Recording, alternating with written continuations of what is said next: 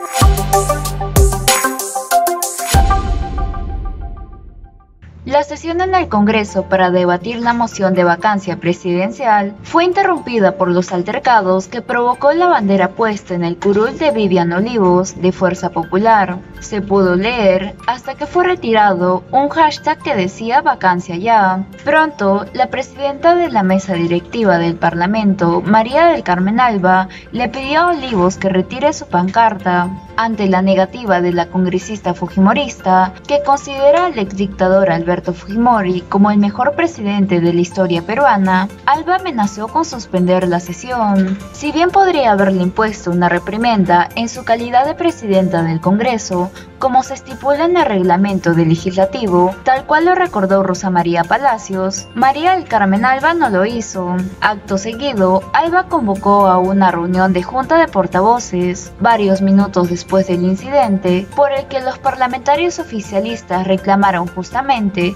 la sesión continuó. Vivian Olivos nació en Lima el 3 de enero de 1987. Es la segunda vez que labora en el Congreso, pero la primera en la que ejerce un cargo por mandato popular. Participó en las elecciones del 2021 con el número uno del partido Fuerza Popular e ingresó al Congreso con 70.785 votos válidos. Fue sentenciada por el delito de falsificación de documentos en agravio del mismo Congreso. La sentencia también consigna en la hoja de vida que Olivos presentó ante el Jurado Nacional de Elecciones. No hubo ninguna reacción desde la tienda fujimorista ni desde los otros grupos parlamentarios. La República tuvo acceso al texto íntegro de la sentencia.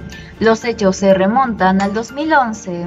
Aquel año, el Fujimorismo había logrado 37 representantes en el Congreso. Leslie Olivos, quien entonces se desempeñaba como comunicadora en Guaral, ingresó a trabajar al legislativo. Ahí lo consigna en su hoja de vida. Si bien la información no es completa sobre la oficina donde prestó servicios, la República pudo establecer que laboró en el despacho del entonces parlamentario fujimorista Elar Melgar Valdés. En ese momento, Olivos tenía 24 años y todavía cursaba la carrera universitaria de Derecho. Días antes de ingresar a laborar al Parlamento, solicitó una constancia de estudios a la Facultad de Derechos y Ciencias Políticas de la Universidad Privada Inca Garcilaso de la Vega. El documento fue expedido con fecha 20 de julio de 2011. Sin embargo, la copia recién fue entregada el 8 de septiembre. El documento que presentó la ahora congresista tenía una modificación. La universidad había acreditado que cursaba el quinto ciclo. Sin embargo, ella lo adulteró para que pareciera